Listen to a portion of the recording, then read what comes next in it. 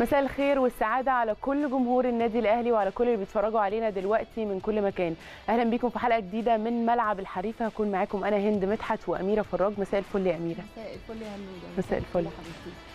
مساء الفل على كل مشاهدينا وأهلا. بكل اللي بيتابعونا على شاشة قناة الأهلي. حابين نشكر الجمهور على مشاركتكم لينا في موضوع مناورتنا اللي كانت امبارح عن المعلق الرياضي. يكون محايد ولا متحيز؟ والحقيقة إن التعليقات كلها كانت ناس مع وناس ضد بس الأغلب كانوا ضد تحيز المعلق الرياضي ايا كان مين بيلعب. مظبوط. طبعا إحنا بنحترم كل آراء الجمهور وعايزينكم دايما تشاركونا رأيكم في الكومنتس وإن شاء الله حلقة النهارده تعجبكم. عايزين بس قبل ما ندخل في مواضيعنا آه، ننعي ونعزي أسرة سامي سعيد لاعب فريق مطروح اللي توفي امبارح. ربنا يرحمه ويغفر له ويصبر أهله يا رب. يا رب ربنا يرحمه يا رب ويصبر أهله على رحيله. حاجة فعلا توجع القلب جدا تعزينا الحاره لأهله والجميع أسرته إن شاء الله. يا رب. تعالوا بقى خلونا نبدأ آه، أول فقراتنا ونشوف معانا أخبار إيه النهارده في السريع.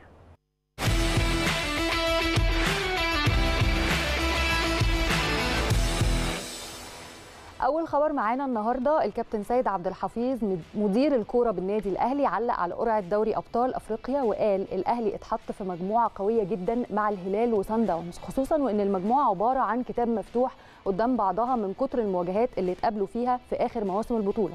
وقال برضو إن القطن الكاميروني مش هيكون منافس سهل خالص لأن مستويات الفرق في بطولة دوري أبطال أفريقيا بتزيد صعوبة كل سنة وده بيدفع للأهلي العمل بقوة عشان يحقق أهدافه في التتويج باللقب إن شاء الله يمكن مظبوط يمكن هو كلمة كتاب مفتوح. هي الأكثر تعبيرا عن مجموعة الأهلي ربنا يوفقهم وإن شاء الله شاء الله. نستعيد اللقب الأغلى على كل الأهلاوية تاني خبر معانا النهاردة هو أنه الفريق الأول لكرة الطايرة. رجال بالنادي الأهلي فاز امبارح على فريق إسكندرية للبترول في اللقاء اللي جمع ما بينهم ضمن منافسات بطولة الدوري. وكانت المباراة اتلعبت على صالة الأمير عبد الله الفيصل بمقر النادي بالجزيرة وشهدت أداء قوي من جانب الفريق علشان تنتهي بفوز الأهلي بنتيجة ثلاث أشواط نظيفة دون مقابل.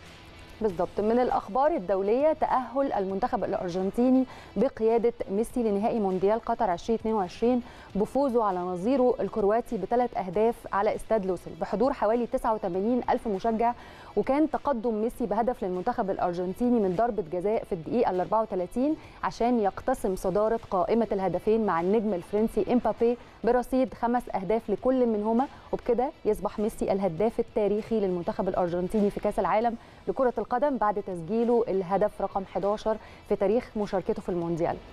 آخر خبر معانا النهاردة عن أسود الأطلس. منتخب المغرب بعد المسيرة الأسطورية والتاريخية ليهم وصلوا لنصف نهائي كأس العالم وهيلعبوا النهاردة قدام بطل النسخة اللي فاتت والمرشح الأقوى للبطولة السنة دي فرنسا. أكيد أملنا كلنا كجماهير عربية إن إحنا معاهم علشان يحققوا إنجاز أسطوري جديد لينا. خصوصا وأنهم كتبوا اساميهم بحروف من ذهب في سجلات كأس العالم بعد ما أصبحوا أول فريق عربي وأفريقي يوصل للدور قبل النهائي في المونديال بمسيرة هتفضل محفورة في عقول وقلوب كل محبي الساحرة مستديره في الوطن العربي والقارة السمراء. خلصت أخبارنا النهارده بس هنروح دلوقتي لصورة في تعليق.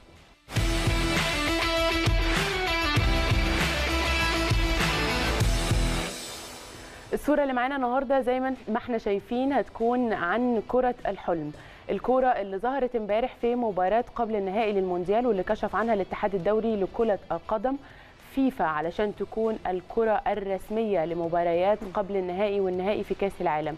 الكرة دي مصنوعة وبكل فخر في مصر باستخدام أحدث ما توصلت ليه تكنولوجيا في تصميم الكرات معمول فيها نظام الكرة المتصلة. التقنية اللي أثبتت نجاحها في تحديد حالات التسلل بشكل أكثر سرعة ودقة في بطولة كأس العالم. بالظبط هند. إحنا فخورين جدا إن حاجة زي كده بيتم تصنيعها عندنا في مصر بأيادي وعقول مصرية. إحنا نقدر نعمل أي حاجة بس الموضوع عايزين نبدأ نشتغل مش أكتر. مش أكتر. آه، آه، الكرة دي يا هند بتقدر ترصد طول الماتشات آه، بيانات وأماكن وقوف اللاعبين عشان تساعد حكم الفيديو بمعلومات تخليهم ياخدوا قراراتهم صح. مش بس كده كمان بتقدر تحدد وضعيات التسلل بدقة عالية جدا وبترصد اللحظة اللي اتلعب فيها الكوره ووصولها للاعب. فحقيقي حاجة مبهرة جدا. وأكيد هتفيد جدا يعني هي حاجة مبهرة وأعتقد إن الحكام كل شوية تكنولوجيا بتساعدهم, بتساعدهم أكتر علشان ما. يبقاش في أخطاء تحكيمية يمكن إحنا النهارده هنتكلم عن ده. بشكل أكبر كمان يا أميرة من الحاجات المميزة في الكورة دي إن تم مراعاة حماية البيئة في تصميمها علشان كده سموها كورة الحلم أول كورة في التاريخ الكرات الرسمية المستخدمة في نصف نهائي ونهائي كأس العالم تصنع من احبار ومواد لاصقه مائية. مم. حاجة مبهرة ومشرفة إن بالظبط. هي 100% صنعت في مصر. تعالوا نطلع فاصل صغير ونرجع نشوف مناورتنا النهارده هتكون عن إيه. ورجعنا لكم مرة تانية ولسه مكملين معاكم حلقتنا. ودلوقتي وصلنا معاكم لتاني فقرات فقرات برنامجنا المناورة.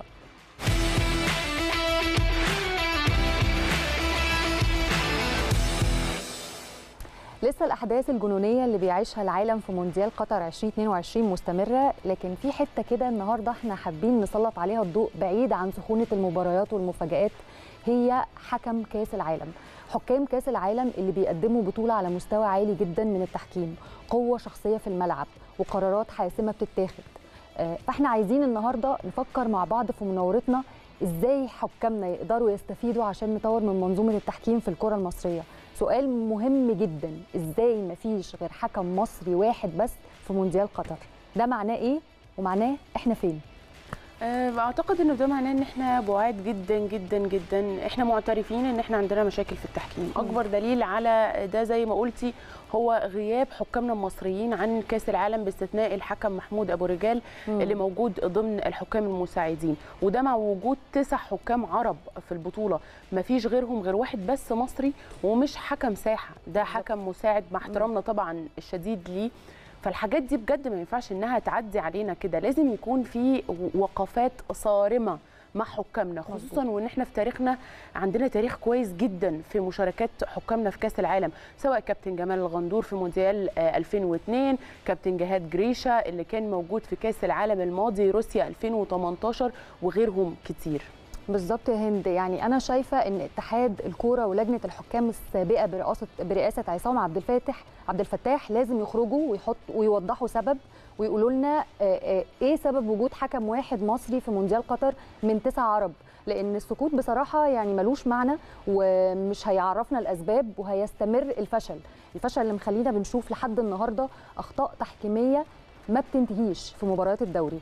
واللي يعني واللي دفعت أندية كتير ثمنها خصوصا النادي الأهلي. يمكن النادي الأهلي من أكتر الأندية اللي اتأذى بسبب التحكيم وده بيخلينا بنشوف في المباريات الكبيرة الفرق بتطلب إنهم يجيبوا حكام أجانب علشان خايفين من الأخطاء الكارثية المتكررة من بعض حكامنا. صح. آه وده كمان على الرغم من دخول تقنية الفيديو اللي لحد النهارده مش عارفين نستخدمها بشكل صحيح ونطورها وتفيدنا في التحكيم في اللعب. فمحتاجين فعلا نلاقي حل للموضوع ده. صح يمكن اللي بتقوليه ده ده بيأكد يا جماعة حجم المشاكل الكبيرة اللي بيعيشها التحكيم في مصر واللي مش مخفية أبدا على الجمهور ولا اللاعبين ولا المدربين الأندية الكل شايفها وعارفها بكل وضوح. يعني لو حضراتكم تفتكروا تصريح الحكم الدولي محمد عادل اللي قلب الدنيا بعد إدارته لمباراة القمة بين الأهلي والزمالك في الدوري السنة اللي فاتت لما قال إنه تعامل في الماتش بروح القانون والاحتواء مع لاعبي الزمالك. حالة احتواء إيه وروح قانون إيه اللي حضرتك بتتكلم عنها حضرتك حكم حكم يعني مفروض اللي بتشوفه قدامك بتحكمه بقوانين التحكيم بالظبط. بنشوف بره الماتش بيكون آه، في, في, في أي دولة بره في أي دوري. بره الفرق الفرقتين مشدودين والماتش مشدود والحكم بيطرد لعيب واثنين عادي جدا. ضربات الجزاء بتتحسم عادي جدا. بالظبط. مين آه، من غير ما يفكر بقى مين اللي بيلعب ومين اللي كسبان ومين الخسران العدل ما يزعلش حد وده دور الحكم. بالظبط كده يا هند. علشان كده محتاجين نشوف ونحلل طريقة تعامل الحكام مع المباريات في كأس العالم.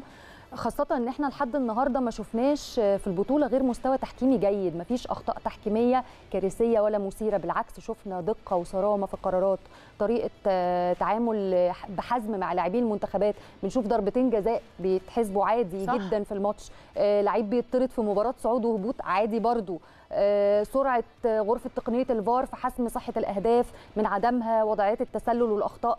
أكبر مثال على كده اللي قلب الدنيا طبعا إلغاء حكم الفار آه، هدف آه، جريزمان لاعب المنتخب الفرنسي في مباراتهم قدام المنتخب التونسي وده اللي قلب الماتش وكان في وقت قاتل جدا وخرجهم آه، يخرجوا خرجوا من خسرانين قدام تونس ساعتها وكسبوا على حسابهم ويمكن القرار ده قلب الدنيا و و و والدنيا ما ما يعني ما قعدتش من ساعتها صح. وكانوا عايزين يعملوا أعتقد تحقيق وإن. إزاي النتيجة دي تتغير في الوقت ده صح. وعادي كل ده بيحصل.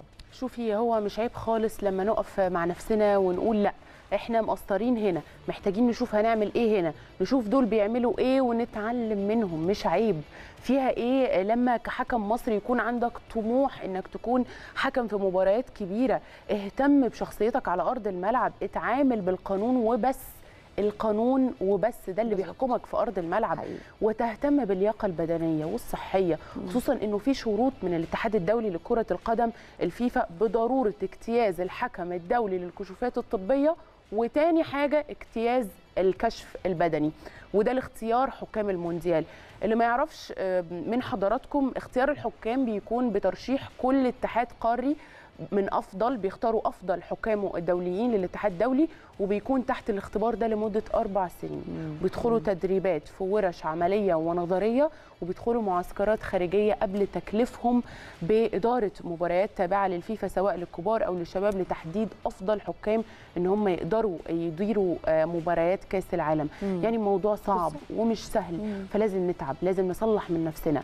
منظومة التحكيم عندنا علشان نقدر إن إحنا نكون كويسين ونروح كأس العالم اللي جاي لازم منظومة التحكيم تركز أكتر هنقول تاني لازم القائمين على الكورة في مصر يركزوا مع المنظومة الكروية كاملة بالظبط. سواء كانت أندية لاعبين حكام كل حاجة لازم في الكورة في مصر لازم شوية نركز معاها بالظبط هند يعني في نهاية موضوعنا كده نتمنى من محللي ومطوري الأداء التحكيمي في مصر الإنجليزي مارك كلاتنبرج رئيس لجنة الحكام المصرية معالجة أخطاء الحكام في الفترة اللي جاية وإنه يكون سريع في تقييم الحكام بعد كل مباراة وتوقيع عقوبات جزائية صارمة بالإستبعاد ضد أي حكم يرتكب أخطاء في المباريات وعلى طول يعمل آه، محاضرات مكثفة يصحح فيها القرارات التحكيمية وإن شاء الله كأس عالم 2026 نكون متواجدين على الساحة بصورة كبيرة ومشرفة.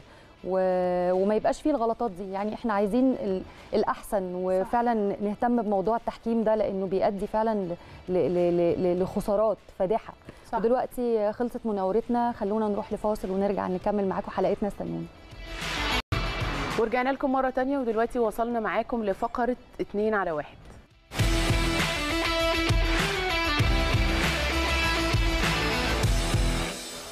معنا النهارده أسطورة من أساطير النادي الأهلي ونجم ليه تاريخ كبير جدا في الملعب. هو كابتن الفريق بكل من الكلمة من معنى. عنده حب وإخلاص لزمايله وللنادي ملهوش حدود. لو حاولنا نتكلم عنه هنكون محتاجين حلقات وحلقات علشان نديله حقه آه، قدم أداء خرافي مع الأهلي في البطولة العربية وقدر يفوز على المصنف السابع على العالم. ويمنح النسر الأهلاوي اللقب. كمان هو أول لاعب مصري يصعد لدور ال 32 في تنس الطاولة وكل ده في أولمبياد لندن 2012 تعالوا نشوف مين معانا ونرجع لحضراتكم تاني. زي ما شفنا مشرفنا في الاستوديو الكابتن السيد لاشين أسطورة الأهلي ومنتخب مصر في تنس الطاولة. أهلا بيك يا كابتن. أهلا بيك. مشرفنا جدا النهارده في الاستوديو. ربنا يخليك ومتشكر على الكلام الله ال- يخليك. عايزين الجميل. نتكلم مع حضرتك على تجديد عقدك مع الأهلي موسمين. ونبارك لك. ونبارك لك. وليه طبعا. موسمين؟ ليه موسمين بس؟ ليه موسمين يمكن عشان آه، أنا عجوز شوية. لا ليه العفو. أنا حاليا إن شاء الله شهر فبراير الجاي يبقى 43 ما شاء ما الله شاء الله. والحمد لله يعني دي من الحاجات اللي أنا مبسوط بيها جدا. طبعا. إن أنا يعني مكمل لحد دلوقتي وتقريبا أنا أكبر لاعب في النادي الأهلي كله في كل الألعاب. ما شاء الله. فدي من الحاجات اللي أنا يعني وسام على صدري وفرحان بيها جدا يعني. بس لسه. لحد دلوقتي ما شاء الله 43 سنة بس لسه لحد دلوقتي بتؤدي وبتاخد آه، بطولات. آه. يمكن أكتر من اللعيبة الصغيرين يعني ما شاء الله نمسك يعني الخشب. أنا أنا مبسوط إن أنا بلعب أساسا. يعني اللعبة أنا يعتبر هاوي تنس طاولة. مش مش يعني محترف على الورق إنما أنا أصلا هوايتي تنس طاولة. يعني بلعب وبروح أتمرن كهاوي. اللي هو لو ورايا حاجة تانية هروح ألعب تنس طاولة برضه يعني. فهي حياتي كده لطيفة يعني. أما بالتجديد هو موضوع هي التجديد آه مو- موضوع التجديد ده يعني ما فيهوش حاجة خالص الواحد يتكلم فيها يعني. هو أنا بجدد يمكن ده العقد الخامس أو السادس ليا في النادي كلهم زي بعض. ما ما فيش حاجة المره دي كانت لا مختلفة؟ هم لا هم بس هم بيقولوا لي تعالى امضي عشان الورق وخلاص. هو القصة كلها ورقيات مش أكتر يعني.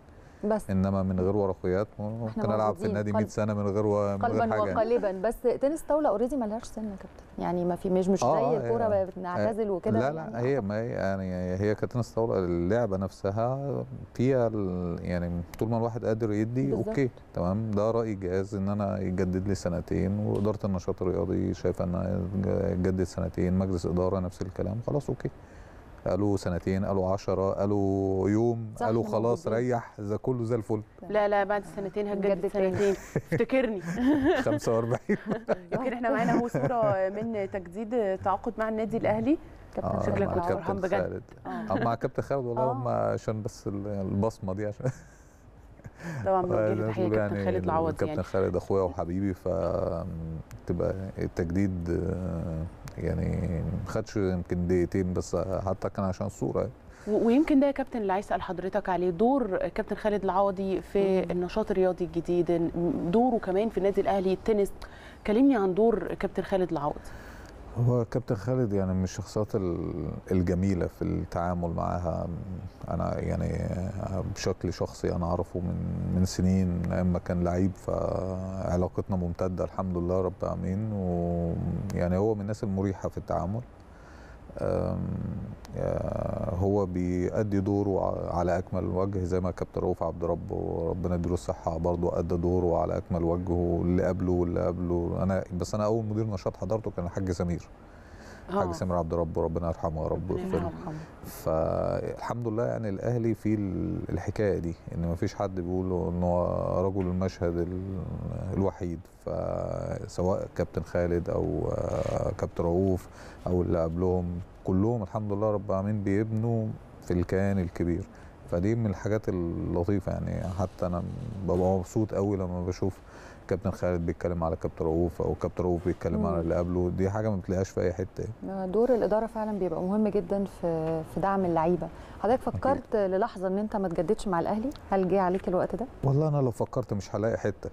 ليه بس كده لا يا كابتن يا كابتن كده. بلاش التواضع مش ضد تواضع. التواضع مش عن. اللزوم ده. الناس يعني- عندنا عارفة الحمد لله إن ولائي قد إيه للنادي الأهلي و... واللي اللي هيبقى عايزنا هيبقى عايزنا نا- عشان ننافس النادي الأهلي وده مش هيحصل وده مش هيحصل. أنا يعني. في في لعيبة مثلا بيجي لها عقود وناس بيجي لها آه، ما بتوصلش للعقود بتوصل مثلا مكالمات في ناس بتقعد مع مع الأندية تتفاوض أنا بفضل الله الحمد لله يعني ما بيجيليش حاجة من الكلام ده خالص. يعني أنا الناس أساسا ما عندهاش الفكرة أو مع إن إحنا هنجيب سيد. اللي هو علشان أنا هم مش عارفين طلب الولاء- هم آه لأ آه، ما هو يعني الإجابة هتبقى إن أنا بضحك بس يعني مش آه. وعارفين بس هي كده فهم. بياخدوها من قصيرها ربنا يبارك لهم وعارفين القصة. يعني أنا الفرقة معايا يعني ابن من أبناء النادي الأهلي حرفيا. أيوة. أنا فعلا أنا بحب النادي ومرتاح في النادي والحمد لله رب العالمين ربنا كرمني في السنين اللي فاتت آه، زي ما بيقال يعني أنا عملت نتائج للنادي وتاريخ في النادي. ما شاء الله. فحته إن أنا أسيب النادي يعني طب هسيبه ليه؟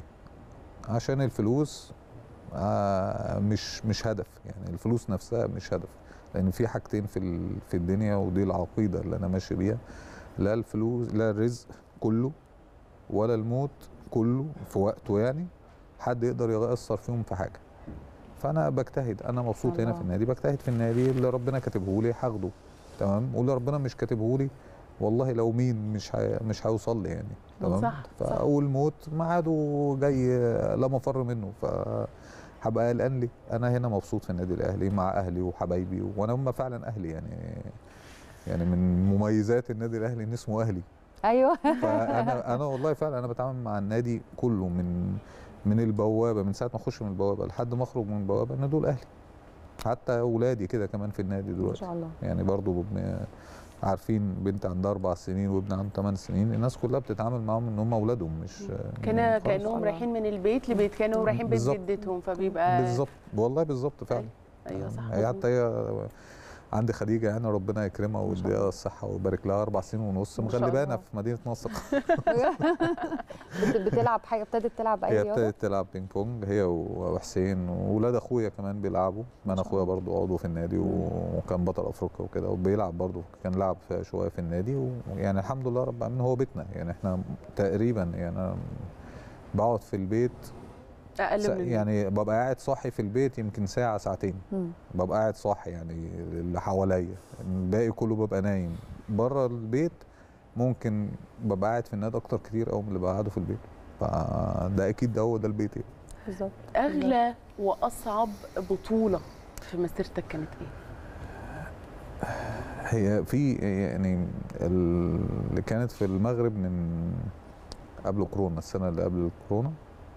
كانت بطوله في المغرب وساعتها يعني ال- الدنيا كانت ماشية ترتيب طبيعي خالص لحد ما وصلنا ال final. وحصل drop مع مع البيلي معانا في الفرقة. واتحطيت في موقف زي ما زي ما بيقولوا كده لا احسد عليه يعني. فهلاعب رقم سبعة على العالم. وماتش المفروض إن هو محسوم لنادي قطر القطري وحتى هم ساعتها كانوا عملوا ال- الشيك بتاع البطولة وال- والترتيب بتاع السيرموني بتاع تسليم الجوائز اتكتب كله. النادي قطر القطري أول ونادي الأهلي تاني. وخلاص يعني أنا نازل ألعب ماتش المفروض إن هو بالنسبة لهم تحصيل حاصل يعني اللي هو هيتكسب بسهولة يعني. بس والله اراده ربنا بقى فوق الجميع.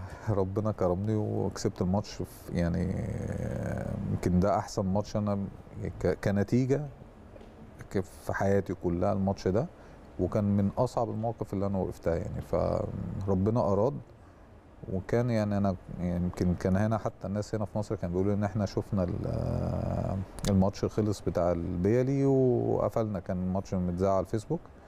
الصفحة بتاعت الاتحاد العربي. فقفلنا ال- الماتش خلصت الماتش كسبنا الماتش بعديها محمد شومان نزل الماتش الخامس هو ده اللي يعني بقت 2 2 فطبيعي إن هو كان هيلعب 2 2 بس كان البيلي يكسب وأنا أخسر ومحمد يلعب الماتش الخامس ده. كان الطبيعي. محمد شومان يعني. فالحمد لله شومان كسب الماتش وبتاع ده كان يعني حاجة غريبة بالنسبة يعني بالنسبة للترتيب اللي حصل هو كان التر- الترتيب عادي خالص إن إحنا نكسب 3 2 برضه نفس النتيجة بس مش مش البيلي يخسر وأنا أكسب هو آه. البيلي يكسب وأنا أخسر ده مم. كان الطبيعي ده كان المنطقي اللي كل الناس ده الناس كلها إن حضرتك. بتفكر كده ولا أنت كنتش بتفكر كده الطبيعي إن إحنا بنفكر كده لأن ظروف البطولة العربية أو الأندية العربية مميتة بالنسبة لنا. آه. يعني إحنا بنخلص البطولة تمام؟ عارف ال- اللي مثلا إيه هربان من حكم بالإعدام. يعني بتلعب إحنا بنلعب باسم نادي كبير طبعا ما يعني ما فيش اسم زيه. دي حاجة. آه، مسؤولية مل يعني صعبة جدا. نيجي نلعب بقى الأندية ال- آه، الخليجية بالذات بيبقوا جايبين محترفين يعني على أعلى مستوى. first class زي ما بيقولوا كده. ودول الطبيعي إحنا الماتش اللي يجيب ثلاثة من خمسة. okay. فالمحترف بيلعب ماتشين فبيجيب الاثنين فأنت بتلعبوا بطولة كاملة أو بالذات اللي هي الأدوار النهائية فيها بتلعبوا البطولة كاملة على إن محدش مننا يخسر ماتش من الماتش ال- من اللاعب العربي. أيوه. فبتبقى صعبة لأن وارد جدا إن تصادف إن حد تعبان النهارده حد مش قادر يلعب حد آه. مش موفق خالص. في بيلعب لعيب كويس ويقدر يكسب فأنت بتلعبي الماتش كله أو البطولة كلها مستنية الخسارة دي. لو حصلت هيبقى الموضوع صعب فساعتها حصل حصلت القصة دي بعد الماتش لقيت آه، يعني حبايبنا الأهلاوية المشجعين وبتاع يا كابتن خش على تويتر ده أنت بقيت ترند فجأة. أنا تويتر يا جماعة ما أعرفش تويتر أصلا. وما عنديش account كنت ساعتها قالوا لي بقى إن سيد لاشين أهلاوي تقريبا أو كان آه كان كان- هاشتاج. آه، حاجة ليها الهاشتاج. علاقة بالعالمية. أيوه الهاشتاج. أيوة، أنا ما كنتش أعرف هاشتاج. يعني إيه هاشتاج أصلا. آه آه كان هاشتاج تمام. أيوه. ف يعني دي يمكن يمكن ده كان أصعب ماتش أنا. أو موقف اتحطيت فيه. آه، وأحلى في- طبعا. عايزين صعب أنا بحس الحاجات دي بت يعني بتسيب كده جوه الواحد حاجة طبعا. معينة يفضل. فاكرها طول عمره آه ما هي هو تاريخ ال- اللاعب الرياضي كله مواقف تمام بس في مواقف بقى بتكبر ومواقف بتعدي وفي مواقف تبقى سيئة بيحاول دايما ينساها وفي مواقف تبقى حلوة وحتى لو ممكن ممكن يعني موقف يبقى عادي خالص بس وقته يخليه حلو قوي بالظبط التوقيت فهو أنا ده مثلا الموقف ده إن أنا كسبت لعيب أجمد مني أو أحسن مني في الورد رانكينج وطبيعي إن هو يعني فاهمة غير. المتوقع اللي حصل؟ كان غير أنا المتوقع كسبت ناس جامدة قبل كده بفضل الله يعني مم. بس ده عشان مع النادي الأهلي وفي الظروف دي. بالظبط. تمام؟ فك- خلى الموضوع حاجة تانية خالص. بالظبط كده. عايزين نتكلم مع حضرتك عن قطاع الناشئين لتنس الطاوله في الأهلي خاصة إن دلوقتي بقى في مواهب كتيرة قوي. إحنا يعني الصالة عندنا الحمد لله رب العالمين بتعمل ناشئين بتعمل ناشئين. يعني إحنا بقول لك إحنا مش مميزين في ال- يعني في البدايات كم- كمصر عموما أو مم. مميزين في البدايات بس لما بنكبر الايفنت بيكبر الدنيا بتبقى صعبة شوية. آه، يعيب أو ده مش مش مش يعيب قوي يعني بس هو صعب على النادي الأهلي غير الأندية التانية مم. ده موضوع الناشئين في النادي الأهلي صعب غير الأندية التانية الأندية التانية مجرد بس إن هم يلاقوا لعيب آه، في باروكه أمل إن هو يبقى كويس ولعيب promising والكلام ده. بتلاقي نادي كامل بيتسخر ورا اللعيب ده. طب ليه صعب عندنا؟ عشان إحنا مش مش لاعب واحد. مم. إحنا بيبقى في ألعاب يعني النادي الأهلي النادي كله عشان يسخر ورا لعيب هو بيبقى عايز منه ال event اللي بيلعبه أو حاجة كده. okay. النادي الأهلي عايز كل ال event ات آه. مش يعني مش عايز يخسر نقطة مش مش event. تمام؟ فانت عشان تجيبي بقى كل event عندك لعيبة كتير و- واهتمام من النادي كتير طبعا هو النادي مهتم بس هي ال- العقلية بتاعت إن أنا مش عايز أخسر حاجة تمام؟ بتخليك مهتم بكله تمام؟ فده صعب. فدي هي صعوبتها في النادي هنا كده إن أنت بتبقى عايز مفيش نادي في الدنيا بيبقى عايز يكسب من event إحنا عندنا ال event ات 11 13 15 17 19 والعمومي رجال وسيدات. ده كله يعني okay. عندك خمسة هنا ناشئين وخمسة هنا ناشئات تمام والرجال والسيدات 12 event ال 12 event انت مطلوب تكسبهم. تمام. يعني اليوم ما بنخسر event وده في رياضة ده في لعبة واحدة. آه. ده في اللي هي لعبة تنس واحدة. طاولة. خد بالك إحنا بنتكلم آه، عن ده يعني ده في تنس طاولة. آه. والكلام ده بيحصل في كل الألعاب. يعني مش في مش في تنس طاولة بس. إن أنت النادي الأهلي مطالب إن هو يكسب كله. تمام؟ والعيل الصغير اللي هو الناشئ اللي لسه بي- بيسمي الله مش قابل إن هو إن أنا أطلع تاني أو أطلع تالت. لا أنا عايز أبقى أول. هنا جودة. تمام؟ يعني من من أكبر بصراحة أنا أنا مثلا ما أنا كده. آه. أنا لو حد بيلعبها في التمرين انت مش عايز تخسر في التمرين. أنا اخسر ليه؟ ما هي اتربت على كده. صغيرة كمان كانت بتلعب تحسيها واحدة كبيرة ما تحسش إن هي هي هي, عن عندها عقلية ال fighter من وهي لسه من هي لسه بتسمي الله فعلا. تمام؟ مش عايزة تقع. أنا مش عايز أخسر طب هو ده صح في الرياضة يا كابتن يعني. هو ده صح في الرياضة إن أنا ما أقبلش الخسارة أبقى fighter حلو وكل حاجة بس ما أقبلش الخسارة وحتى تقبل- النادي نفسه ما المفروض يقبلش لا النادي ما يقبلش الخسارة ده ده حاجة طبيعية أوكي ما فيش ما فيش نادي بيبقى عايز إن هو يخسر event ده ايا كانت الأسباب. تمام تمام. بس الفرق بقى الخسارة يعني بتعلم مم. إن أنا لما أخسر أتعلم بالظبط. ولازم التقبل الخسارة مش إن أنا أبقى سلبي وبخسر وخلاص وألف مبروك وشكرا لا، سلام عليكم أكيد لازم أحلل إن أنا. خسرت ليه. ولازم أنا أعرف إيه العيوب اللي عندي وأشتغل عليها لو عملت كده لو اشتغلت عليها الخسارة هتبقى مكسب مم. إنما يبقى عندي روح رياضية مع المنافس ده أساس. تمام بس مع تقبلي إن أنا ابقى إنسان سوي وألف مبروك آه، أنت على مكسبك النهارده بس لازم يبقى في شغل على الحكا... على الحته اللي أنا كانت سبب إن أنا خسرت ما هو ده ما هو لو ما. حصلش دروب مش هشتغل مش هعرف. مشاكلي ده مش اللي هشتغل بيحصل في النادي مم. تمام ويمكن هنا جودة ومش هنا جودة بس إحنا عندنا أبطال كتير بس يمكن هنا جودة عشان هي دلوقتي الأيقونة بتاعت بالظبط. تنس الطاوله عشان مم. سنها يعني مثلا دينا مشرف تمام حقيقة يعني princess تنس الطاوله عندنا في النادي صح دينا من الناس اللي بتجتهد جدا جدا جدا على عيوبها مم. قبل قبل ما المدرب يقول لها لا أنا هي عشان طبعا يعني تنتمي لعائله لها ما لها في تنس الطاولة حاجة آه، يعني فخر لينا كلنا صحيح. دكتور علاء وكابتن شيرين تمام؟ فهي فاهمة already وهم بيفهموها كمان فهي بتبقى عارفة أنا خسرت ليه قبل تمام؟ يعني وهي بتلعب. ولو خسرت الماتش هي عارفة خسرت ليه وبتبتدي تشتغل عليه أو الخصم حتى لو هي كسبت الخصم بيلعبها على إيه فبتشتغل عليه. نفس القصة هنا. هنا ال- يعني دينا ابتدى يبقى حواليها زي ال- ال team work بس متأخر شوية. هنا ال team work ابتدى من وهي لسه تحت 11 تمام؟ عشان فرق ال generations وال كل حاجة إحنا أعتقد. الدنيا بتتطور. آه. تمام؟ فأهل هنا اشتغلوا عليها من بدري قوي. آه. الشغل- إحنا معانا تكريم. آه.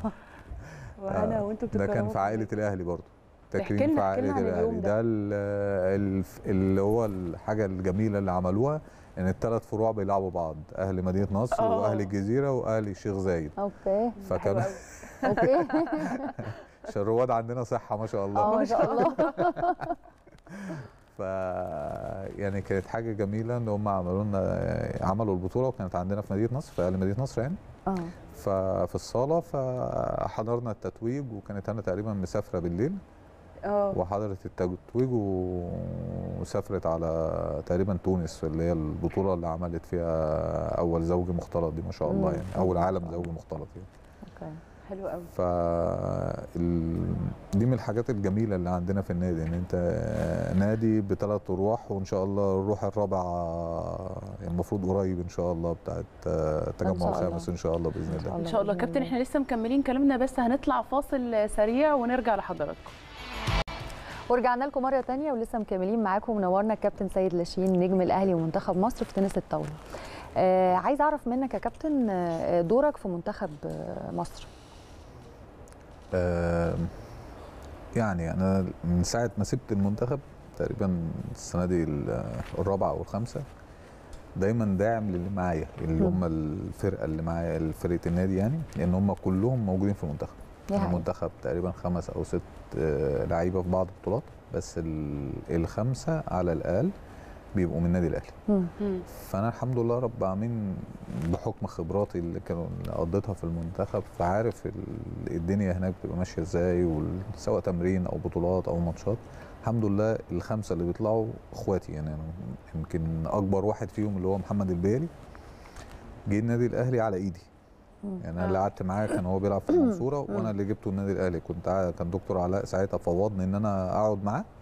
فقعدت معاه وخلصنا الموضوع جه قعد معايا في الشقة سنين فأنا عارفه. غير بقى الباقيين محمد شومان وشادي وخالد عصر.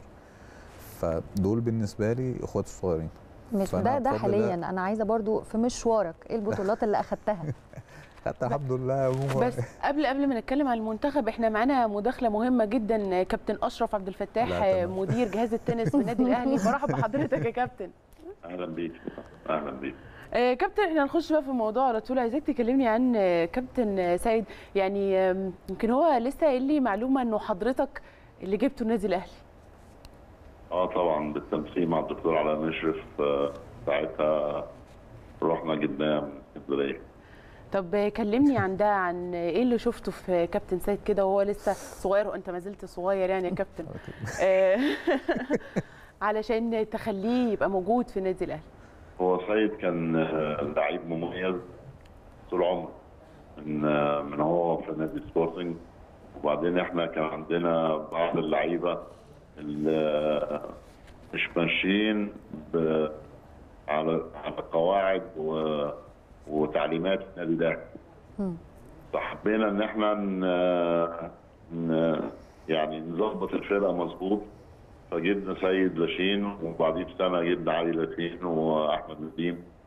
والحمد لله الفرقة من يوميها وهي ماشية مظبوط 100% حلو جدا. حلو جدا. طيب آه، حضرتك تحب تقول له إيه النهارده؟ هو موجود في قناة الأهلي بيته. يعني هو أقدم مننا طبعا في في الأهلي. هو ابن من أبناء الأهلي. حضرتك تحب تقول له إيه؟ سيد طبعا أنا كلام متسجل يا كابتن أشرف ها؟ إحنا على الهوا يا كابتن أشرف. طبعا سيد من أفضل اللاعبين في تاريخ النادي الأهلي اخلاقيا و... و... ورياضيا ولعبا كل حاجة. ويا ريت يعني النادي يكون فيه عشرة زي سيد. النادي عندنا عشرة زي لعيبة زي سيد في كل الأعمار. هنبقى من أفضل الأندية على مستوى العالم كمان مش على مستوى مصر. بس فسيد آه، النوعية الممتازة من اللعيبة خلقا وأدبا و... والتزاما وأنا عايز أقول لكم إن أنا مثلا سيد بديله ثلاث أيام إجازة يروح يومين ويوم راجع.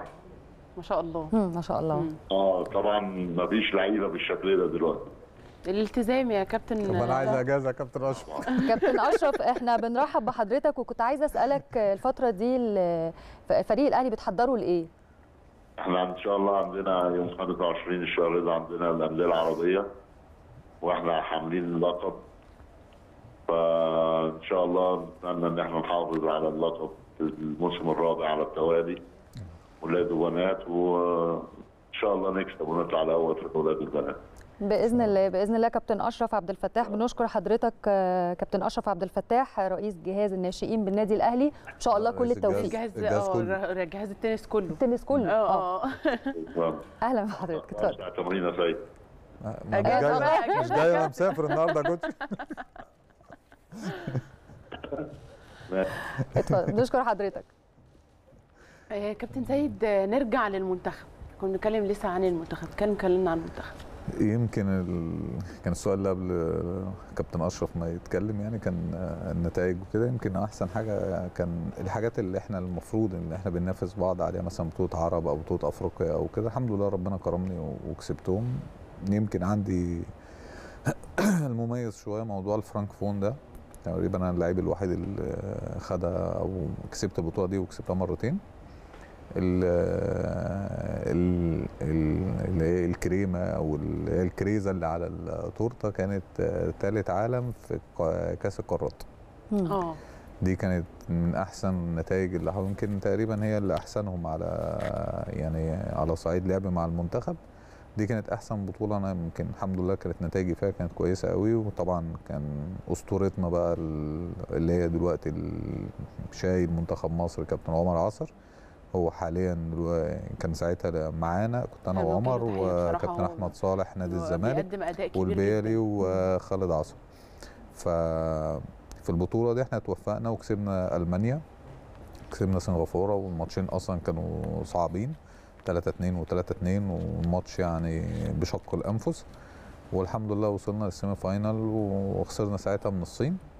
آه بالنسبة لنا طبعا إنجاز كبير بس حاليا مفيش في الوضع اللي إحنا فيه لا تنس الطاولة اتطورت كتير.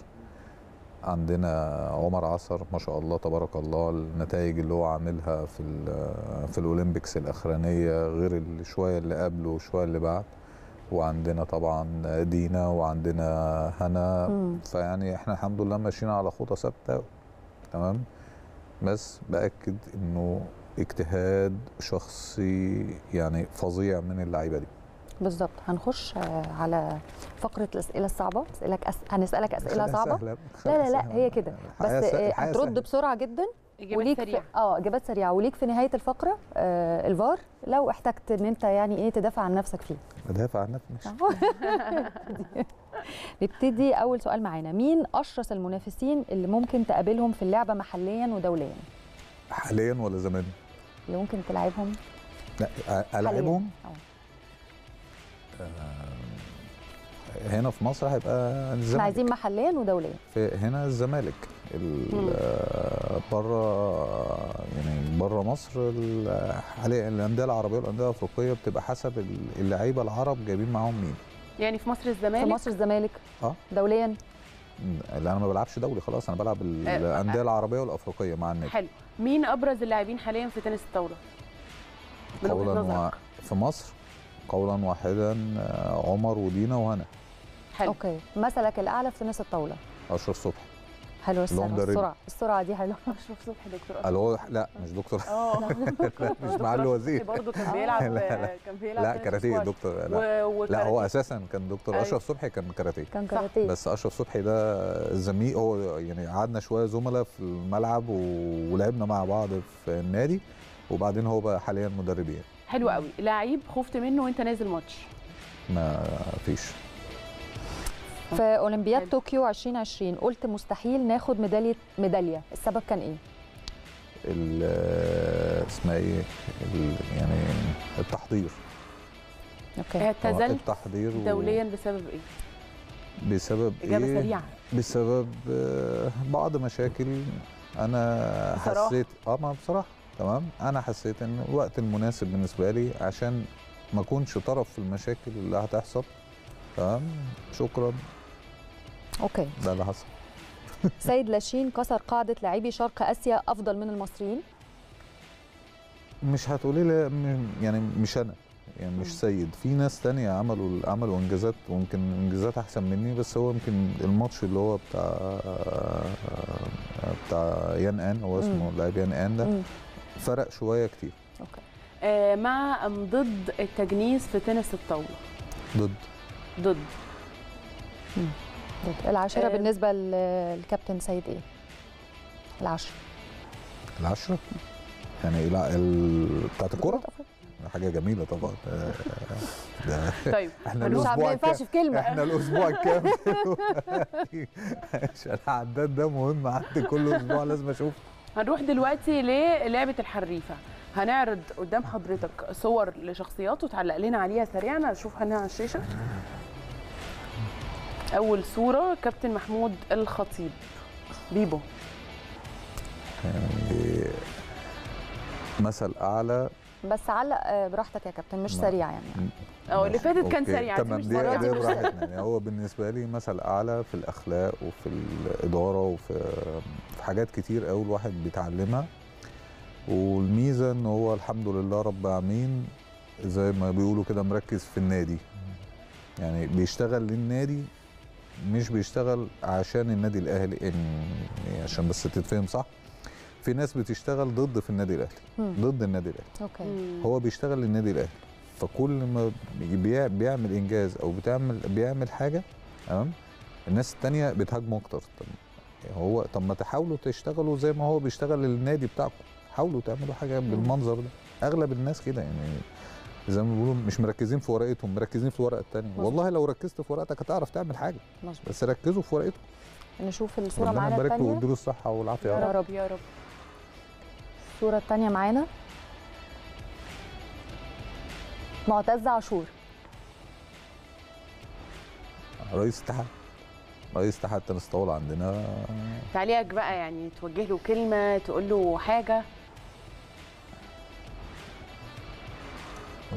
آه شكلك ربنا. متضايق من ربنا حاجة يا. كابتن آه حقيقي آه. أنا متضايق آه تمام. طب ما نقول فرصة نصلح ال فرصة والله يعني يعني. بقى شوف يا كابتن هقول لحضرتك على حاجة أنا بشوف إنه آه، ذكر السلبيات هو مش انتقاد هو مم. محاولة لتصحيح ايا كان المسار اللي إحنا بنتكلم فيه اللي بيسمع دي حاجة حلوة آه يعني لو. في لو فيك عيب وأنا بقوله لك وبتسمعيه وبتتجاوبي معايا دي حاجة حلوة إنما مم. لو ما بتسمعهوش تمام؟ وبتنتقديني عشان بس بقول حاجة أنا شايفها وجهة نظري أبقى أنا غلطان ده موضوع تاني بقى. تمام. آه، الصورة اللي آه، بعدها؟ الصورة اللي بعدها ده كابتن ماجد عاشور. ده مدربي. أخو كابتن معتز عاشور. أيوه طبعا؟ قضيت معاه سنين وأيام كانت الحمد لله كان فيها ماتشات كتير وكسبت وعملت نتائج كويسة وهو كان موجود وكان بيساعدني في وقتها وربنا يكرمه ويديله الصحة. يا يا رب. رب الصورة اللي الصورة معانا اللي معانا؟ عمر عصر. أخويا الصغير وبطلنا الكبير وإن شاء الله ربنا يديله هو من أكتر اللعيبة. يعني أنا كان زمان يتقال عليا إن أنا لعيب مجتهد والكلام ده عمر أكتر مني بكتير. فعلا. جدا. يعني مم. من الناس يمكن اللي زيادة عنه شوية هنا جودة بس عمر ما شاء الله تبارك الله يعني عزيمة من حديد في التمرين وفي التركيز وهو اللي اشتغل على نفسه. يعني زي ما قلت من شوية مثلا كان دكتور علاء مشرف و- وعيلة دكتور علاء مشرف كانوا بي يعني كان هم اللي بي support دينا قوي وكانوا برضو بي support عمر كتير. وهنا جودة مامتها وباباها اشتغلوا عليها قوي. عمر كان لوحده مع إن أبوه الله يرحمه كان مدرب وبتاع بس هو كان عمر دماغه هو عارف هو عايز إيه. سولو يعني مركز لوحده عارف هو رايح فين. طيب الصورة الجاية هي لمحمد البيلي حبيبي. آه. بيبو هو اسمه الدلع عندنا بيبو. من أكتر اللعيبة الموهوبة عندنا في مصر. والمحترمه آه بصراحه محترم جدا جدا. و هادي كده ومرتب وحياته مترتبة هادي زيك. أنتوا صحاب. أيوه. تحسي أنتوا التون ده. صحاب قوي. يعني احكي لنا عن علاقتكم ببعض. فكرة انت لو كابتن محمد لو قعدتي معاه نفس نبرة الصوت لا، جميل. هو بيبو ده ده. بيقول ده رهيب. بس يعني لينا مع بعض سنين. أقول لحضرتك كان قاعد معايا في في شقة المغتربين. كنت أنا وهو معاه كان هو قد كده. قعدت سنة كاملة ما اسمعش صوته. والله ما أعرفش ان هو أصلا بيتكلم وبيهزر وبتاع. لحد ما كان معانا برضو آه، لعيب دلوقتي في أمريكا اسمه محمود زغلول. آه آه. ابن كابتن عز الزغلول جاء الشقة قعد معانا. أنا كنت بره جيت الشقة لقيت الشقة مقلوبة ومهرجان. يا بيل انت بتتكلم زينا. بعد سنة. جميل هو محمد ربنا يكرمه. أيوة، هو في لنا إسبانيا وراجع بكرة ولا موقف مع كابتن محمد مثلا حاجة معينة وانتوا قاعدين مع لا بعض؟ هو مش موقف هو في أي نقاش بدخله أنا وهو أنا ببقى بقطع شراييني. ياه. آه، في الموضوع منتهي هو حياته مترتبة بالترتيبة اللي جوه دماغه. محدش أي. حد هيجي كده هيجي كده هيخبط دماغه. موتوا أيوة. نفسكم يا لا جماعة. لا رهيب الكابتن آه، بيبو ده جميل بقى يعني. الأخيرة معانا هتكون دي دينا مشرف. دينا مشرف. حطت تنس طاولة في حتة ثانية خالص. تمام. ويمكن من الناس اللي أثرت في تنس طاولة كويس قوي عندنا. آه ويمكن هي تأثيرها في في تنس طاولة كان عامل تأثير يعني خلت بقى فيه هنا جودة. إن هنا شافتها إنها تقدر تكسب وبتاع. كانت الخطوه أو دي على الأقل يعني وجهة نظر أنا. يعني أنت يبقى في حد يعني موريك الطريق اللي تمشي عليه فرقت. لأن إحنا قبل هنا جوده كان عندنا أبطال عرب وأبطال أفريقيا بس. ما فيش حد بينافس في العالميه ف آه سوري قبل دينا مش كان كل الأبطال الموجودين قبل كده الله يعني ما شاء الله كان عندنا تاريخ كبير. بس دايما كانوا عرب وأفريقيا نكسب بطولة العرب ونكسب بطولة أفريقيا والدنيا تمام. ونقف لحد هنا. وحتى بطولة أفريقيا مش ما كانش كتير. آه. تمام؟ عشان نيجيريا كان مناسب منافس شرس يعني. فدينا هي أول أول بنت حطت تنس طاولة بتاعه ال- السيدات شوية قدام قدام شوية حلوين. تمام؟ وبعديها بقى جت هنا وجا الناشئين اللي عندنا كان عندنا ناشئين كويسين جدا يعني. بالظبط آه، كابتن شايف اهتمامنا بالألعاب الأخرى بقى عامل إزاي؟ كتير يعني فرق كتير قوي من 10 سنين لدلوقتي أو صح. من 20 سنة لدلوقتي من 20 سنة ما كانش حد يعرف حد تقريبا في مظبوط. الألعاب ال- حتى كان ساعتها بيقولوا ألعاب شهيدة دلوقتي عندنا مثلا في في النادي الأهلي أغلب اللعيبة معروفين هم مين تمام؟ ويعني اللي هم مثلا زي يعني بلاش زي أنا مثلا كباتن الفرق التانية بقوا معروفين سواء أولاد أو سيدات. آه، ال social media عامل رواج جامد قوي حقيقي. لأسمائنا على الأقل. حتى لو الناس مش عارفة ال- الشكل بس عارفين الأسماء كويس قوي. الموضوع بقى يعني بقى أحسن كتير عن زمان. برضو زمان إحنا كان التلفزيون كان أولى وثانيه والموضوع أنا قديم أنا من أيام ما كان كان- فعلا اسمها كان- الرياضات الشهيدة. آه. كابتن آخر حاجة عايز أسأل حضرتك عليها آه، خططك في اللي جاي بتتمنى إيه في اللي جاي إن شاء الله؟ والله أتمنى الستر من ربنا سبحانه وتعالى وربنا يكرمنا يعني سواء على الصعيد الشخصي والعائلي بأهلي ويعني ومراتي وعمتي وعمي وأبويا والعيلة دي كلها. كلها كده رب وإخواتي طبعا ربنا يبارك فيهم ويديهم الصحه وأهلي بقى النادي الأهلي أي خطوة بخطيها ببقى نفسي فعلا يعني أنا يمكن الفترة الأخرانية عرفت يعني إيه دموع الفرح. وأنا وأنا صغير شوية كان قلبي جامد. آه. يعني لما بكسب ببقى كده. ساعات لما الواحد يتحط تحت ضغط كتير قوي غصب عني بقيت عينيا بتدمع في ال... في الكام بطولة الأخرانية. فأتمنى إن أنا أدمع بقى بس دمعة فرح مش مش دمعة حزن. إن شاء الله إن شاء الله. في اللي جاي. بإذن الله ربنا يكرمنا. على المستوى الشخصي وعلى المستوى الرياضي مع النادي الأهلي إن شاء الله بإذن الله. كابتن. خلصت فقرتنا وكنت منورنا جدا وعايزاك قبل ما. نختم تقول حاجة لجمهور الأهلي ربنا يخليكم لينا وزي ما كان الكابتن بيبو كان كابتن كبير عشان مش بيبو الصغير يعني تمام كابتن كبير كان دايما بيقول لك الجمهور رقم واحد هو فعلا النادي الأهلي جمهور وهو فعلا رقم واحد وهم أكبر داعم لينا و...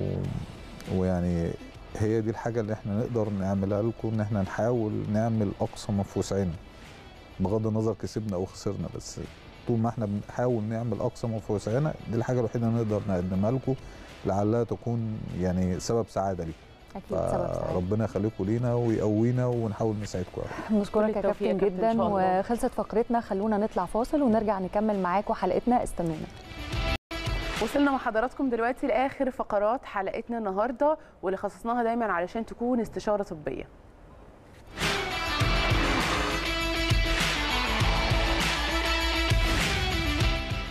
أوقات كتير آه، بتشوف آه، أشخاص بياكلوا كتير شهيتهم بتكون مفتوحة على طول على الرغم من إن هم ممكن يكونوا مش جعانين لكن بياكلوا لمجرد إن الأكل بيسبب لهم حالة من النشوة والسعادة فبياكلوا وبيوصل ساعات للإدمان. اللي هو أنا فرحان باكل زعلان باكل متضايق باكل في كل الظروف آه، باكل. وطبعا النتيجة بتكون معروفة السمنة بكل درجاتها. شكل مش أحسن حاجة عدم ثقة في النفس ومش بس كده كمان بيسبب آه، أمراض كتير جدا إحنا في غنى عنها. علشان كده منورانا النهارده في الاستوديو دكتورة سالي فيكتور أخصائية التغذية العلاجية وعلاج السمنة من الفريق الطبي لشركة اون تارجت فارما واللي هتكلمنا عن إدمان الأكل وأسبابه وإزاي نعالجه. أهلا بيك يا دكتور. أهلا بيكي طبعا؟ المقدمة دي عني. يعني المقدمة دي دول مش ناس دول أنا. أنا فعلا لما بزعل باكل كل مشاعري بترجمها الأكل. فقولي لي إزاي نعالج ده؟ هو طبعا كلمة إدمان الناس دايما بتترجمها لحاجات تانية يعني إدمان حاجات تانية. لكن يكون في حاجة اسمها إدمان أكل ممكن يكون اللفظ غريب شوية على بعض الناس كبير كمفهوم عند بعض الناس اللي هو يا جماعة أنا بحب الأكل عادي مش درجة إدمان. بس هي فكرة إن إدمان الأكل بتكون حالة عاطفية أكتر من هي حالة نفسية آه إن أنا ببقى رابط شعور الأكل دوت بشعور عندي أنا بحبه. زي مثلا إن أنا زعلان فمثلا بفش غلي في الأكل. فرحان فباكل كتير وأنا مش حاسس باكل قد إيه. أو أنا أساسا مش مركز أنا باكل إيه؟ أنا باكل وأنا دماغي مثلا مشغولة بأي موضوع تاني عندي فأنا باكل أي كمية قدامي وأنا مخي مش مترجم إن أنا باكل أصلا. أنا باكل كده وأنا مش حاسس أو دماغي مشغولة في حاجة تانية آه، فمش مش واخد بالي من الكميات. ده غير كمان إن في بعض الناس بتربط الأكل بشعور معين عندها. يعني في ناس بتقول لك أنا بحس بالأمان لما باكل. آه، رابطة ال- الأكل مثلا عندها بشعور معين أو بيفكرها مثلا بذكرى معينة. فبعد فترة بيلاقي إن الشخص دوت آه، عايز ياكل مش عشان هو جعان. ده مش جوع حقيقي ده هو بس ولا خلايا جسمه محتاجة الطاقة ولا يعني في signals بعتتها الخلايا للمخ إن المفروض الواحد ياكل دلوقتي أو هو جعان. لا هو بس كل الحكاية إن هو بياكل عشان هو مبسوط أو هو زعلان أو رابط الأكل ده بشعور معين عنده. فهو بس بياكل كده فرحة أو يعني بياكل حزن. فكل الأكل دوت طبعا الجسم ما بيكونش محتاج كل الأكل دوت أو كل يعني كل الكربوهيدرات أو كل ال calories اللي داخلة ديت. فطبيعي الجسم أنت أنت عمال تدخل لي calories كتير calories كتير وأنا مش محتاجها. فأنا مش عارف أتعامل مع كل الأكل دوت. ففي ناس بقى غير انها بقى بتروح تتخزن بقى في في منطقة البطن ومنطقة الأرداف أكتر منطقتين بتتخزن فيهم السكريات بالذات. إن هو كمان أنا بعلي هرمون الإنسولين جدا في الدم بستفز البنكرياس بعمل load عليه. آه، في ناس كمان ممكن من كتر الأكل بيحصل لها انتفاخات بشكل كبير جدا. آه، ممكن يحصل لها عسر هضم. بتحس إنها مخنوقة من كتر ما أكلت بطنها مليانة قوي فعارفة لو تقول لك أنا حاسة إن في حد واقف على قلبي أو أنا أكلت لحد أنا مش قادر أتنفس فهم دايما رابطين الأكل بشعور معين عندهم ويعني لو أنا متضايقة أو أنا زعلانة طبيعي مش هفكر ابدا ان أنا أروح آكل healthy food أو آه، لا health آه، مش هاكل ولا سلطة. يعني. لا، متضايقة مش هروح بقى. سكريات بقى آه، مكرونة بقى مش أه آه، صح آه، آه، معجنات مثلا كرواسو بقى وباتيه الحاجات دي كلها دايما هروح للأكل أو junk food أو fast food أو كل الأكل دوت لأن أنا مش باكل عشان أنا جعان أو أنا بفكر في الأكل دلوقتي عشان أنا خلايا جسمي محتاجة طاقة أنا بس ربطه بشعور عندي فأنا طبيعي هفكر بس في بس الأكل دكتور هو ده حقيقي هو بيسبب بالظبط. فعلا سعادة هي لحظية في النهاية لكن هو بيسبب الأكل اللي حضرتك بتقولي عليه سواء ال junk food سواء. المعجنات ال carb ال- السكريات هي فعلا بتعمل ده بالظبط. بتعمل فجأة أول أنا لما باكل شوكليت فعلا بحس بس في نفس اللحظة بالك بالإحساس المعين أول دقيقة أول دقيقتين ما أنا بقول هو سريع بعد كده كل الكلام ده ما بتحسيش بيه بالعكس صح. ده بيبقى ليه نتائج. نفسية نفسية مش حلوة أصلا الأكل ال- آه. لو شعور بقى بالذنب. بالظبط غير الشعور بالذنب هو الأكل الغير. صحي أصلا ما, بي ما بيعملش أي حاجة في النفسية حلوة خالص. يعني انت لو جربتي تاكلي أكل صحي بجد نفسيتك بتتحسن. أيوه صح صح. دي. حقيقة فعلا. على ال long ناس- term آه بي- بيفرق جدا. جسمك بيبقى هو كل الناس بتبقى رابطة اكل معين بشعور معين عندها. يعني أنا لو كلت شوكليت أنا هبقى مبسوطة دلوقتي. هو طبعا الشوكليت هي بتعلي عندنا هرمون السيروتونين أو هرمون السعادة فده اللي بيحسسنا إن إحنا مبسوطين لحظيا. بس هو في مخيلته في عقله الباطن أنا رابط الشوكليت إن أنا لو كلتها هبقى مبسوط. فملهاش علاقة قوي بإن هو مثلا الأكل بي بيعمل حاجة في الجسم هو ربط آه، الدماغ مو- هو الدماغ كله كله هنا. كل حاجة بالظبط انت. بتشوفي حاطة في دماغك إيه و... وال thoughts. بتاعتنا لازم الأفكار بتاعتنا تتغير هنعرف بعد كده نحسن من. عاداتنا بالظبط طيب الناس اللي عندها إدمان للأكل زي ما بنقول ونفسها تخس تعمل إيه يا دكتور الحل السحري نعمل الحل إيه السحري.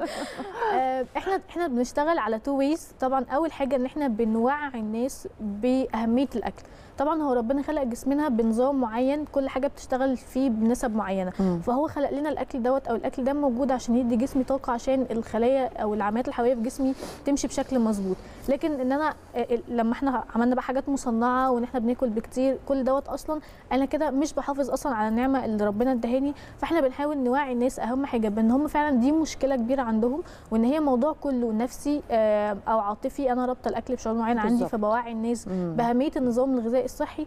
ده غير طبعا إن إحنا علشان برضو نسيطر على حب الأكل أو الشهية اللي مفتوحة أو إن كمان الناس بتاكل كميات كبيرة قوي قوي قوي فإحنا دايما بنساعدهم بكورسز مساعدة.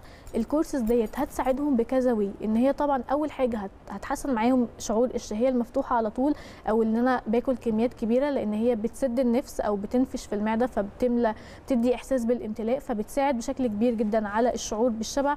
ده غير بقى إن هي كمان فيها enzymes مع vitamins زي مثلا فيتامين سي كل دوت هيساعد الجسم إن هو يخلي عملية التمثيل الغذائي ماشية بشكل مظبوط يساعد الجسم إن هو يحرق الدهون اللي متخزنة أو يفتت الدهون اللي هي بقى لها فترة متراكمة طبعا في منطقة البطن بقى والدراع والأرداف كل الأماكن طبعا معظم كمان السيدات بالذات بتعاني منها.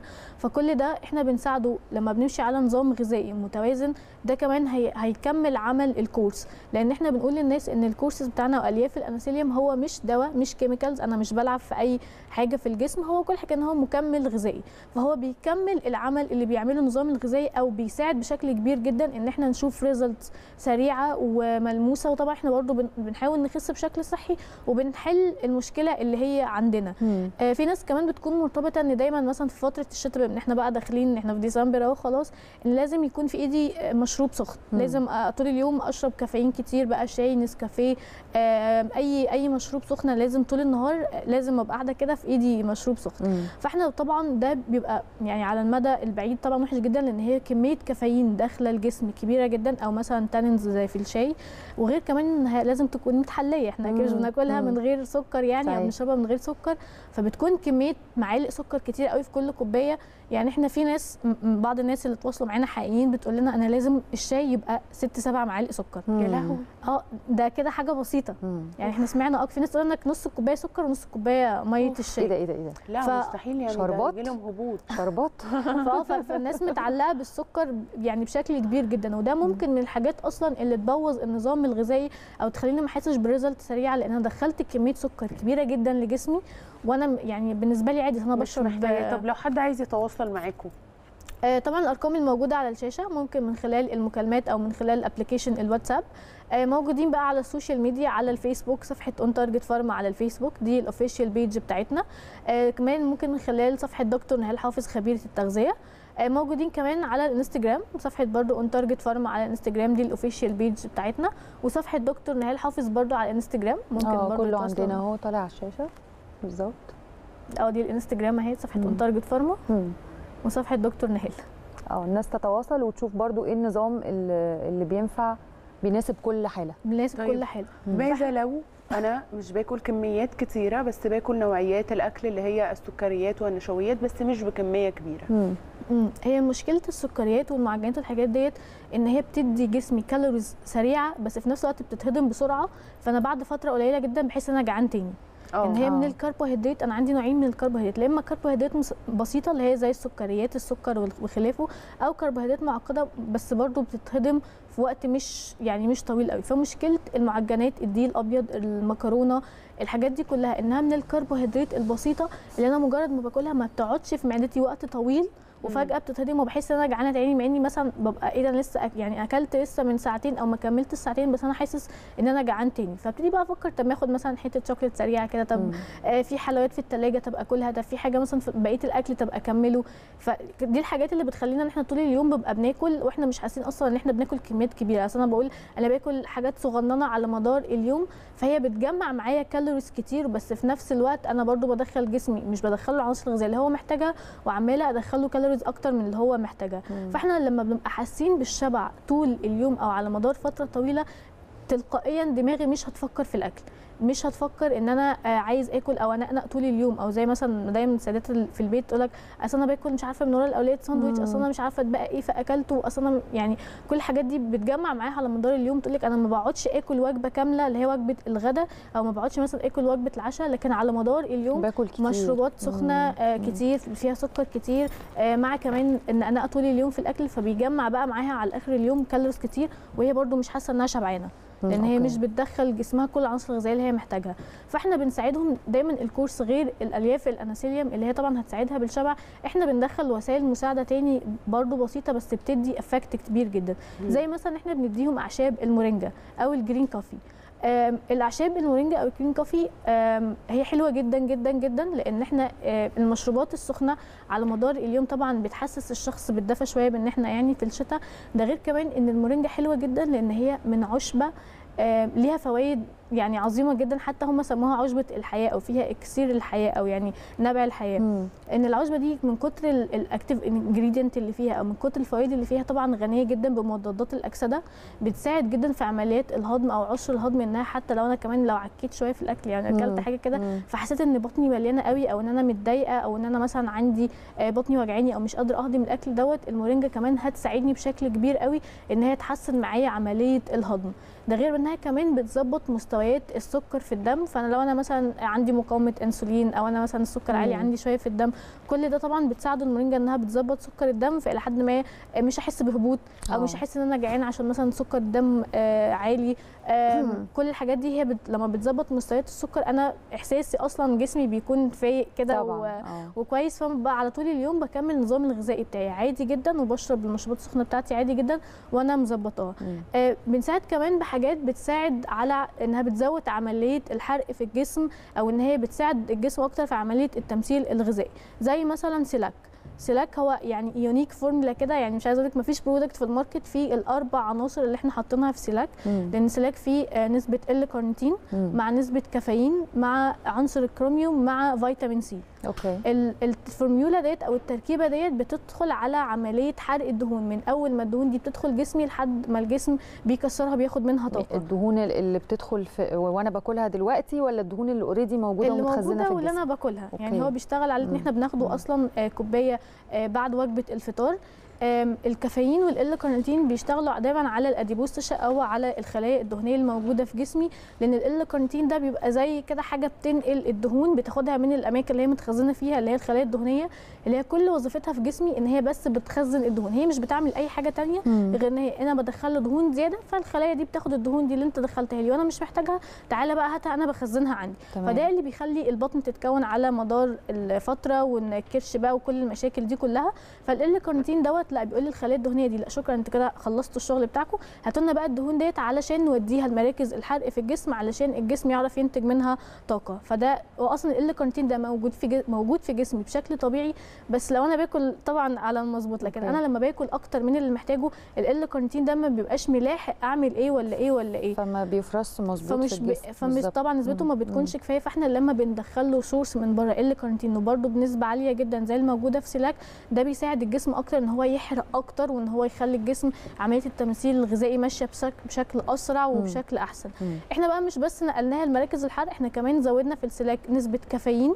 الكافيين ده هو اللي بقى بيدخل على مراكز الحرق دي في الجسم أو اللي هي عملية التمثيل الغذائي ويحرق بقى الدهون الموجودة ديت يكسرها لجزيئات أصغر فالجسم يعرف يتعامل معاها وياخدها للخلايا عشان ينتج منها طاقة. ماشي. يعني بص يا دكتور تعالي كده إيه ببساطة كده بسطتي لي الموضوع. أدي الكورس الأنستيليوم موجود بيتكون من كام حاجة وبيتاخدوا إمتى؟ يعني في حاجات بتتاخد قبل الأكل في حاجات بتتاخد بعد الأكل. أيوة، يعني الروشتة بسطتيه لي كاملة كده. آه اديني روشتة كده كاملة. آه، إحنا بنقسم اليوم لثلاث وجبات غير طبعا السناكس اللي بت... أو على حسب طبعا النظام الغذائي.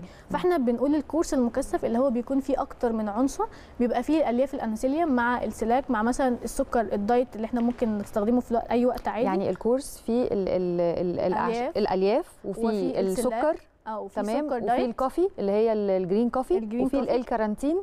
وفي اللي هو السلاك. وفي السلاك خمس حاجات هم كورس عبارة عن إيه. خمس حاجات. بالظبط. ده أوكي. الكورس المكثف اللي هو فعلا حد عنده مشكلة كبيرة جدا مع الأكل غير إن كمان جسمه على مدار فترة طويلة ما بقاش بيحرق بشكل مناسب أو بشكل كويس فكمان عملية الحرق عنده بدأت ضعيفة أو هو خلاص وصل لمرحلة إن هو فعلا مش قادر فكل العوامل دي إنها طبعا بيظبط الأكل معانا فإحنا بنساعده بقى بكذا حاجة إحنا بناخد وجبة الفطار بتاعتنا عادي جدا اللي هي بتكون محسوبة السعرات وبرده بتكون بتشبع وبناخد بعدها كوباية السلاك. السلاك هو برده sachet بتتفضى على كوباية مية وبتتشرب هو برده طعمه حلو جدا زي أوكي. الاناسيليوم لأن هو آه، فيه فيتامين سي كتير فهو فيه نكهة ال- البرتقال يعني تحسه. عصير آه، آه. طعمه حلو بالظبط آه، ده بيساعد الجسم على مدار اليوم إن هو يكون نشيط لأن طبعا نسبة الكافيين بتفوق أصلا حتى أنا طبعاً. في العادي آه، بشرب قهوة أو نسكافيه الكافيين اللي موجود فيه بيساعدني إن أنا أفوق وإن أنا أكمل يومي ب power عالي آه، غير بقى إن هو هيشتغل بقى على عملية الحرق على مدار اليوم هيخليها على أعلى مراحلها تمام فأنا جسمي طول ما أنا باكل في اليوم شغال عمليات الحرق عشان أنا ساعدته بعوامل تانية آه، قبل بقى فترة قبل ال- الوجبة الرئيسية بتاعتنا أو وجبة الغداء إحنا بناخد قبلها بساعة كوباية الانسوليوم أو ألياف الانسوليوم مم. هي برضو ساشت. الساشت دي هتساعدني بشكل كبير جدا إن تملى في معدتي أنا بشرب بعد بالشبع بالظبط إحنا مم. بنشرب بعديها كوبايتين مية فهي الألياف ديت هتفضل تمتص المية اللي أنا بشربها وتنفش في الحجم أو حجمها يفضل يتضاعف ممكن يوصل كمان لحد 15 أو 20 ضعف حجمها فده بيملى حيز كبير جدا في المعدة مم. يعني لو المعده مثلا متقسمة كده أهوت إحنا حوالي بنملى تلتين حجمها فأنا بيبقى باقي لي بس تلت الحجم الباقي من المعدة دوت فأنا خلاص أنا هاكل الوجبة بتاعتي اللي هي بتبقى وجبة الغداء وهتكون مكفياني طبعا بشكل كبير جدا وهتساعدني إن أنا على بقية مدار اليوم إن أنا أفضل حاسس بالشبع okay آه العوامل المساعدة الثانية دي ممكن تستخدم على مدار اليوم يعني مثلا السكر ال diet أنا ممكن أحطه في المشروبات عادي في المشروبات آه في. المشروبات وكمان اللي بتميز بيه سكر سيسل إن هو بيستحمل درجات الحرارة العالية يعني ممكن أحطه في المعجنات يعني أحطه ممكن في كيك. نطبخ بيه عادي نطبخ بيه آه، بالظبط، نعمل بيه. آه، الحلويات. okay آم، دي إن هو بيستحمل درجات الحرارة العالية بيستحمل الفرن ممكن كمان آه، أعمل بيه يعني حتى في ال- في المشروبات السخنة هو مش بيغير طعمها أو مش بيسيب after taste اللي هو اللاذع أو اللي دايماً، هو آه، يضايقني أو يخليني المشروب بتاعي زي ما أنا. متعودة عليه بسكر عادي بس جسمي هياخد السكر دوت زي ما هياخده زي ما هيتخلص منه فمش هيديني أي calories زيادة okay فإحنا طيب. عجزنا ال calories في المشروبات وفي الأكل. عايز أسألك على حاجة تانية في جلسات بتتعمل دايما مع ال diet لحقن ميزوثيرابي أو جلسات اللي هي التخسيس الموضعيه بالأجهزة والحقن والكلام ده كله. أيوه مظبوط. آه كلميني عن ده وهل ده فعلا مفيد ولا الناس تروح تعمله كده وخلاص ممكن يبقى ليه ضرر معين؟ لا طبعا هو التخسيس الموضعي حلو جدا آه في ناس بتعمله بس لازم نتأكد إن إحنا بنعمله عند دكتور trusted إحنا واثقين في المكان واثقين في العيادة. نلتزم على ال prescription اللي الدكتور بيديها لنا. يعني مثلا إحنا بنعملها كل 10 أيام يبقى لازم التزم بالوقت بتاعي. 10 أيام. بالظبط. أسمع يعني في ناس بتقول لك خلاص عملتها مرة وخسيت شوية فأنا خلاص عجبتني عجبني الموضوع ومش عايز أروح أكمل. فده اللي بيخلي الجسم ممكن يترهل أو ممكن آم، تدي كمان نتيجة عكسية عند بعض الناس فلازم لو إحنا خلاص لو إحنا قررنا ممكن كمان ال- الميزوثيرابي يشتغل مع ال كورسات بتاعتنا أو في ناس مثلا بتحب يعني تع- تعمله في الأول وخلاص لأ أنا عايزة أوصل بقى كمان لجسم منحوت أكتر مظبوط أكتر أنا أيوة، عايزة أوصل بقى لل perfect أو ال ideal بتاعي قوي يعني. فطبعا ال course هيساعدنا إن إحنا ننزل في الوزن بشكل كبير جدا على مدار فترة وممكن معايا إن أنا كمان أساعد إن أنا أنحت قوامي أو إن أنا أخلي أشد الجسم الجلد شوية. أشد الجلد بالظبط. آه لأن هي في بعض الناس من كتر السمنة الجسم لما بيتشد جامد ممكن يحصل له ترهلات أو مثلا يبقى فيه آه مشاكل تانية. فبرضه الميزوثيرابي بيساعد برضه بشكل كبير جدا في عملية اللي إحنا بنظبط بقى الجلد. دي حاجات دلع أكتر بقى. طيب دكتور عايزين نعرف منك لو الناس يتواصلوا معاكي يتواصلوا معاكي إزاي؟ آه، إحنا طبعا الأرقام الموجودة على الشاشة ممكن من خلال الأرقام أو من خلال application الواتساب يعني هو لو لقوا بس الرقم مشغول شوية من ضغط المسجات ممكن مم. عادي يتواصلوا على خلال application الواتساب. آه طبعا موجودين على ال social media على الفيسبوك صفحة On Target Pharma على الفيسبوك دي. ال official page بتاعتنا. آه صفحة دكتور نهال حافظ خبيرة التغذية برضو على هي الفيسبوك جماعة على الشاشة ممكن تصوروها بالموبايل أو بالظبط آه موجودين كمان على الانستجرام. آه صفحة On Target Pharma على الإنستجرام. okay. وصفحة برضو دكتور نهال حافظ على الإنستجرام. آه، قولي لي يا دكتور يعني الكورس ده نتائجه آه،. يعني تبتدي تبان من إمتى؟ هو طبعا من خلال أول شهر يعني في ناس كمان من أول أسبوعين بيبان معاها بشكل كبير جدا. وإحنا دايما بنركز أكتر على المقاسات مش الميزان. بالظبط. الجسم ممكن في أول حقيقي. فترة ينزل مية أكتر اللي هي متخزنة أساسا في جسمي من كتر ال- الأكل غط أو مم. مثلا باكل ملح كتير أو الحاجات دي كلها ففي الجسم في الأول فترة دي بينزل المية دي أكتر مم. وبعد كده بيبتدي بقى بعد ما نخلص المية دي بيبتدي تكون مثلا ال- الحرق الدهون بقى نشتغل على عملية الحرق الدهون نفسها. فهنلاقي بقى إن المقاسات كمان قلت لأن إحنا لو عملنا انبادي هنلاقي إن حجم الدهون في جسمي قل بشكل كبير جدا مم. وممكن كمان أكون زودت الكتلة العضلية أكتر اللي خلى جسمي مناعته أحسن وبيحرق مم. بشكل أحسن وكل الحاجات دي مم. فطبعا من أول شهر الناس بيبان عليها بشكل كبير حتى إحنا بنسمع دايما الكومنتس من بعض السيدات يعني يعني دكتور النتائج بتبان من أول شهر. من أول شهر. من أول شهر. دكتور انت شرفتينا ونورتينا. ربنا للأسف. وقت حلقتنا خلص النهارده بس أكيد هتكوني موجودة معانا في حلقات تانية. آه، حلقتنا النهارده خلصت. استنونا إن شاء الله كل يوم من الحد للأربع آه، من الساعة 3 ل 4 ونص. أنا وأميرة. إن شاء الله. باي باي.